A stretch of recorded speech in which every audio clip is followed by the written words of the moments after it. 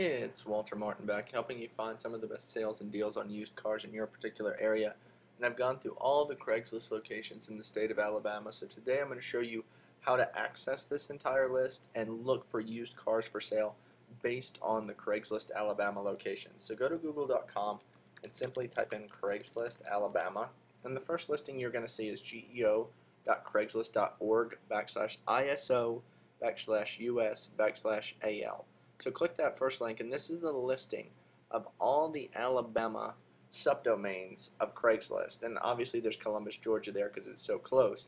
But if you want to look for used cars, unfortunately there's not a search bar here to do that. So you're going to have to click on the area and then go to for sale and go to cars and trucks and then by owner only.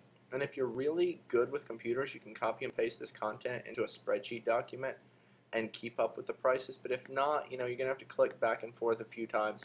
After you do this once or twice, it's not going to be hard.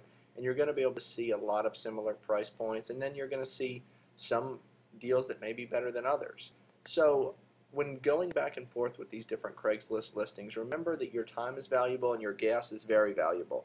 So do not chase an offer that's hundreds of miles away just because it's a low price. Just be patient, wait for an offer in your area, and it will likely come. So if you have any questions about searching Craigslist for used cars or you're looking for Alabama locations, please feel free to comment below and please like the video on YouTube if you find it helpful.